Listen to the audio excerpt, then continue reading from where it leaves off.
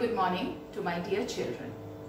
Join your hands and close your eyes and let's offer our day to the creator of this whole universe.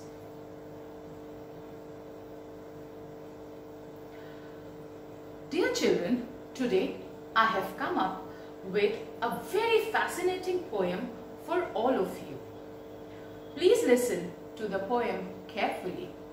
Recite and practice it using voice modulation and expressions.